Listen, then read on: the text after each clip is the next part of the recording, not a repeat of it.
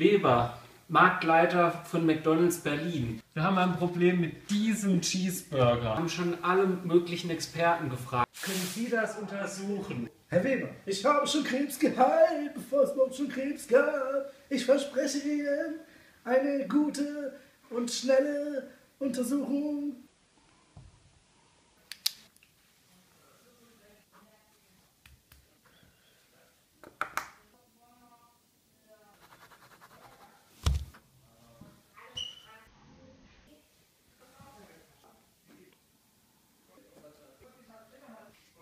Herr Weber, wir haben halt, wie gesagt, einige Untersuchungen gemacht. Wie Sie sehen können, sind hier eindeutig so viele Gürkchen drauf. Ich werde Ihren Burger- Cheeseburger als erstes in die Mikrowelle stellen und dann werde ich äh, per Eingriff die Gürkchen ausoperieren. Messer, Bitte, Chef.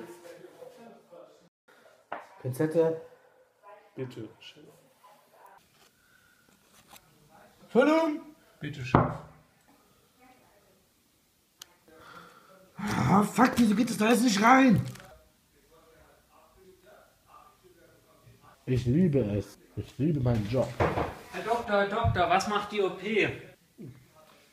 Er hat die Operation leider nicht überstanden, Herr Weber.